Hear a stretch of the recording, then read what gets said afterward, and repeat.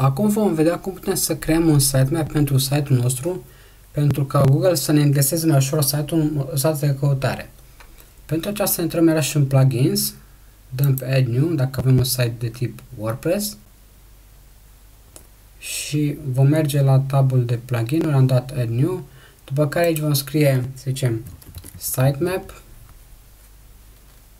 și dăm pe căutare după acest cuvânt cheie după care alegem un, un plugin pentru sitemap. Eu personal folosesc acest plugin Google XML Sitemap.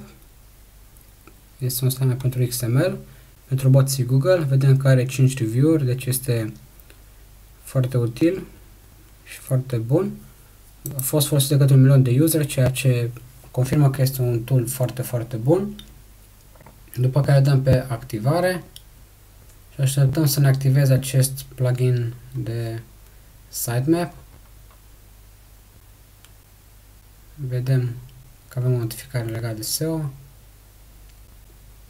Cred că se bat cap în cap cele două plugin să vedem dacă este adevărat.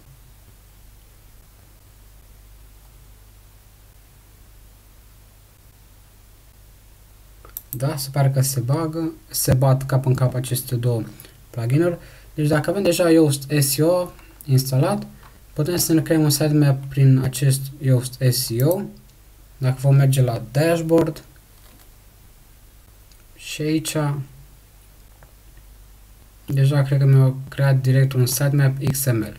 Deci fie printr-un plugin dacă nu avem deja instalat Yoast SEO, fie simplu prin Yoast SEO ne creăm acest sitemap XML pentru roboții Google.